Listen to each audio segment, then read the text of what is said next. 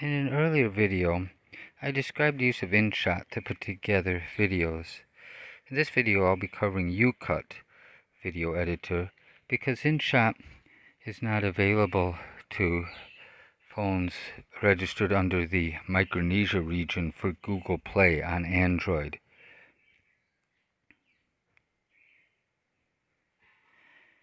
YouCut is produced by InShot and works much the same way. Here I'll start to assemble a video on a tire change and trip to town I did today. It's organized the same way as InShot and works just like InShot. So here's a video I might want to put in a series of short videos.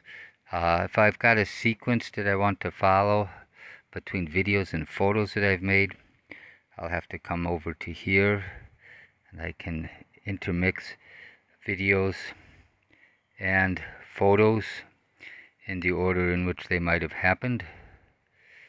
Uh, this is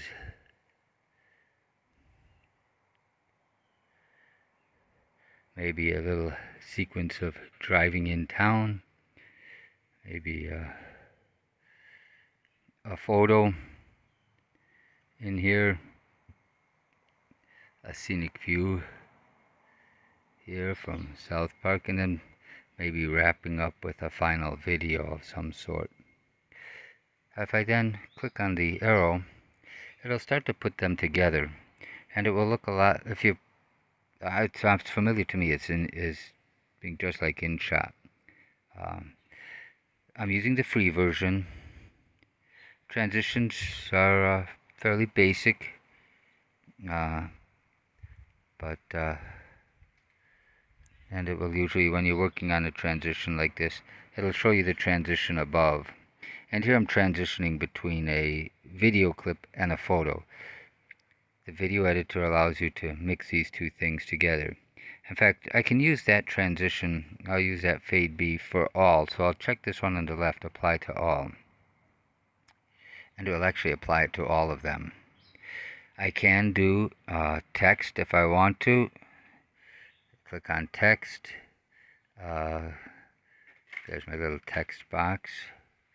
Put in what I want to.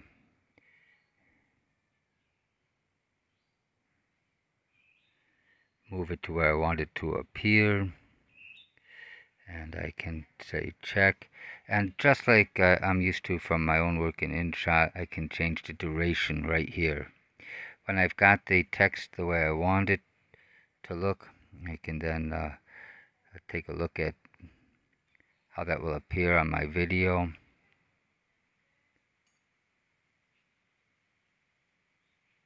This one is overlapping a so it overlaps between a photo and a video section. If I long tap, I can change the order, drag and drop to allow me to change the order if I wish to of the different segments. When I'm done, press check. Uh, some of the other things I can do is for these um, for these still shots, we can usually change the time here, the speed, uh, which well this is a maybe a video. Let's find a still, an actual still photo.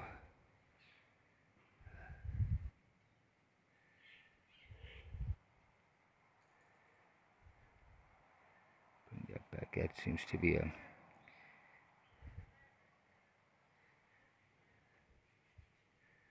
so I can alter the speed.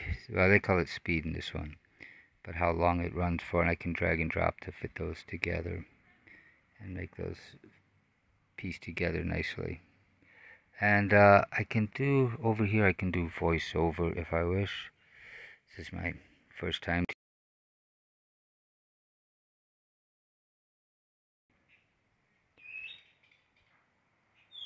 Can then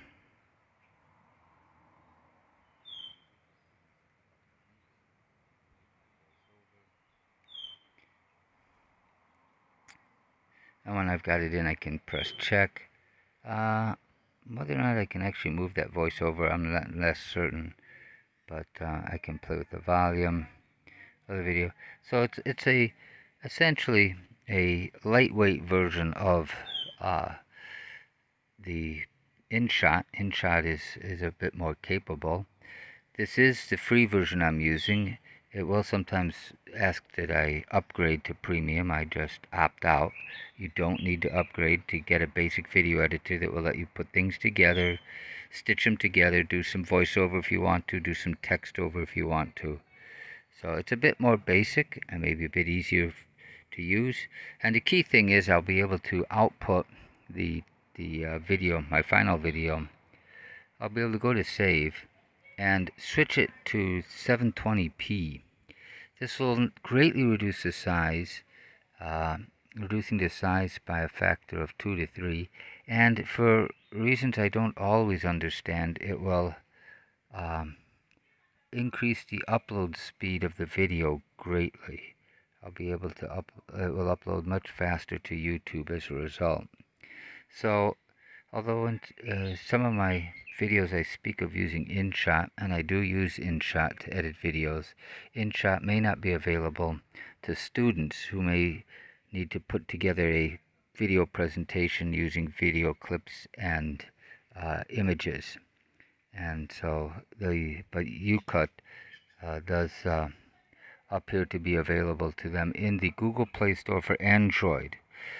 I cannot speak to what's available for iOS, but either InShot or YouCut or both will be available to students working in iOS.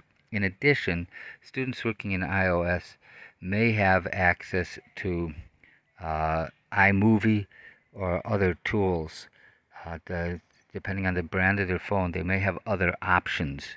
But I'm using here phones that are equipped with a plain vanilla Google operating system, Android, basic Android and Google tools, and they do not come with a built-in video editor. And so I have to download something like InShot, or in this case, YouCut. And uh, when I'm done, I'll probably want to save it as a draft so I can come back and edit it again. When I go to do this, I can go pick up my last draft if I wish to. That's the only draft I've got. I haven't actually saved any other drafts. Uh, so, just a basic video editor that can put together videos and most critically for our students, save it in a 720p format that will upload more quickly and more efficiently on their limited bandwidth.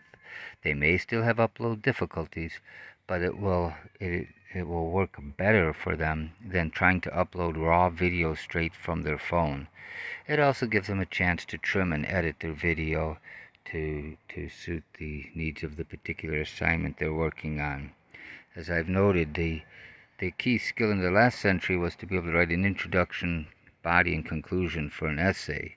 The key skill going forward is being able to function in Zoom-based environments with presentations, slides, and videos. And videos can have an introduction, body, and conclusion. And this is the conclusion of this video. Thank you for watching.